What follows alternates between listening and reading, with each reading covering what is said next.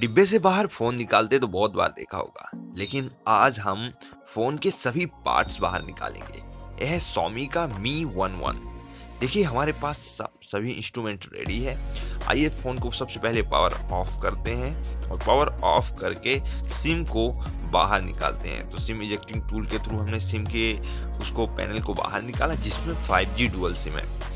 उसके बाद back panel को हम बाहर निकालते हैं। बैक पैनल को डिसेंबल करने के बाद सबसे पहले दिख जाता है हमें आपका कैमरा ग्लास कैमरा ग्लास जो है, आपकी सिंगल पीस कैमरा ग्लास है, उसको हमने पूरी तरह से बाहर कर दिया है।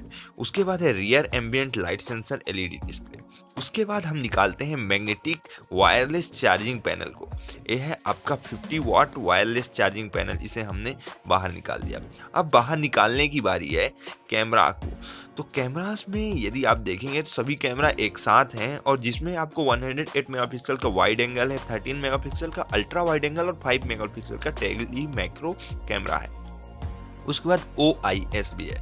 साथ ही अब हम बाहर निकालते हैं 20 मेगापिक्सल का फ्रंट कैमरा 20 मेगापिक्सल का फ्रंट कैमरा निकालने के बाद ये है स्नैपड्रैगन ट्रिपल एट उसके बाद U F S three point one है एंड वाईफाई सिक्स इसमें लगा हुआ है। उसके बाद हम इन्हें सबको डिसम्बल कर देते हैं। डिसम्बल करने के बाद यहाँ पे डुअल स्पीकर जो हरमन कैडन के हैं, उसे भी बाहर निकाल दिए।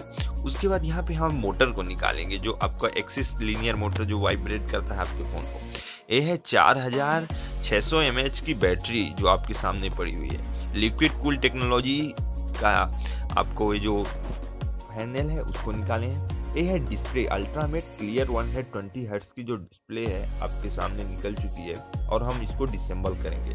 तो यह है क्वाड कर्व डिस्प्ले तो अब देख लीजिए आपकी डिस्प्ले किस तरह से दिखती है। इन स्क्रीन फिंगरप्रिंट सेंसर है और एक कुछ इस तरह से डिसेंबल हो गया पूरा फ़ोन और कुछ इस तरह से दिख रहा है फ़ोन डिसेंबल होने का। तो अनबॉक्सिंग नहीं है फ़ोन की इनबॉक्सिंग है।